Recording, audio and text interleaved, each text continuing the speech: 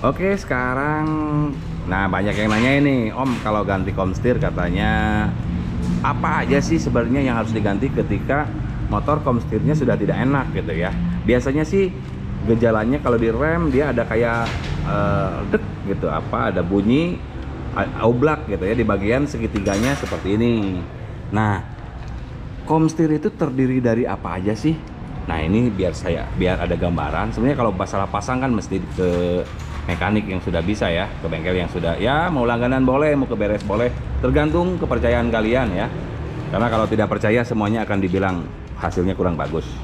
Nah oke, jadi saya mau jelasin sekarang biar eh, tahu itu ya. Men sorry men. Nah ini komstir itu kan ini segitiga nih ya di sini rangkaiannya apa aja sih yang biasanya rusak gitu. Nah coba naikin di sini biar kelihatan. Nah ini komstir itu ada bagian bawah, puter men. Nah ini posisinya kan, ini posisinya ngadep ke depan nih. Ini komstir itu ada bagian bawah, lalu ada pelor, ada apa? Komstir bagian yang ini set- seset ya. Lalu juga di atas ada yang bagian ini. Nah bagian ini nih. Nah, biar lebih jelas saya mau jelasin pakai yang baru ya. Coba lihat. Coba rangkaiannya yang paling bawah yang nempel di sini nih. Nah, coba di sini nih simpen. Yang bawah ini, nah ini nih bentuknya seperti ini. Nah, lalu juga, lalu di tengahnya ada pelor seperti ini. Lalu di atasnya jadi ini tuh coba buka lagi. Ini yang nempel di sini nih.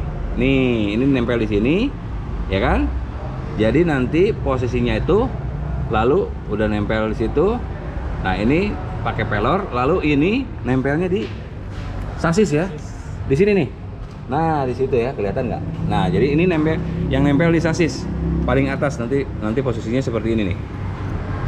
Nah, jadi satu set yang bawah itu segini. Lalu sekarang kita ganti yang atas ya.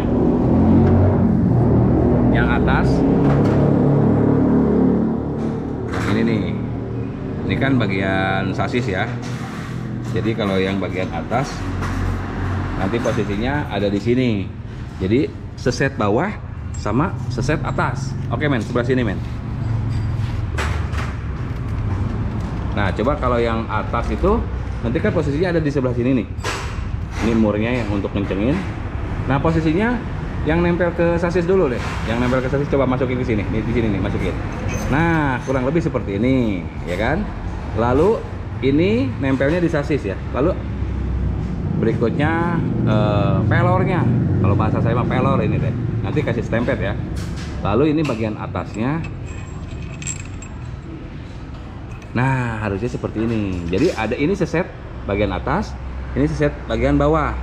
Nah, untuk pemasangan mungkin harus dipres atau agak dipukul tapi yang harus udah biasa ya.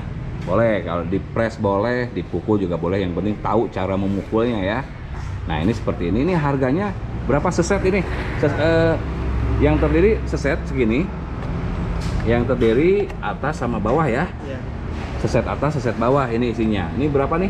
200 ribu 200 ribu Iya. pas pas 200 ribu atau mungkin untuk yang mau beli silahkan eh, di Shopee-nya Store PWK ya bisa mau beli komstirnya dulu di tempat kami juga bisa ya atau di bengkel resmi terdekat atau di toko-toko yang kalian percaya ya boleh nah sekarang tinggal sekarang dipasang ya oke ini dimasukin lagi dulu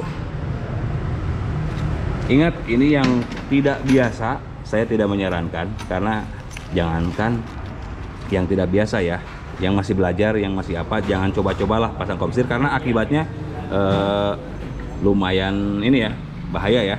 Oke kita masukin dari bawah. Ini kan udah dipasang ya udah diganti ya.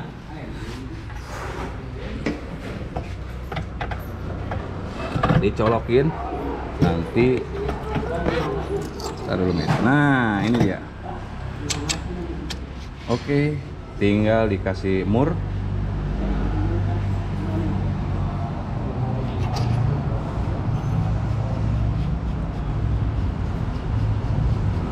Santai men, santai, jangan tegang dong. Jarang masuk ini ya.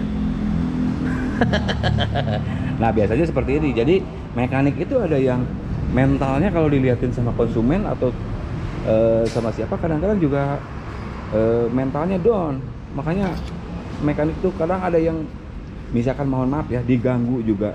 Tetap konsentrasi ada yang diganggu malah jadi tegang gitu kan. Tegang jadi salah. Di tempat saya juga sama ini. Kalau dilihatin tegang nih. Kadang-kadang mau bilang 10 juga jadi 8 padahal selawat oke men eh selawat udah. Sama aja.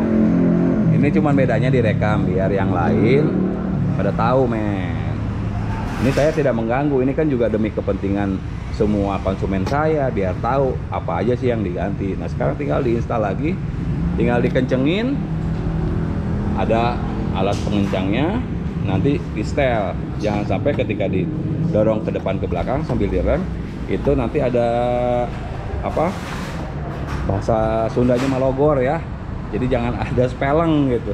Nah seperti ini oke? Kurang lebih seperti itu. Buat kalian yang pengen tahu cara mengetahui harga spare part original Yamaha bisa apa di Android di download aja aplikasinya spare part Yamaha di Play Store ya. Atau mungkin kunjungi channel YouTube saya. Nanti ada cara eh, melihat harga spare part pakai aplikasi. Oke terima kasih sudah nonton. Jangan lupa servis motornya. Terima kasih dan bye bye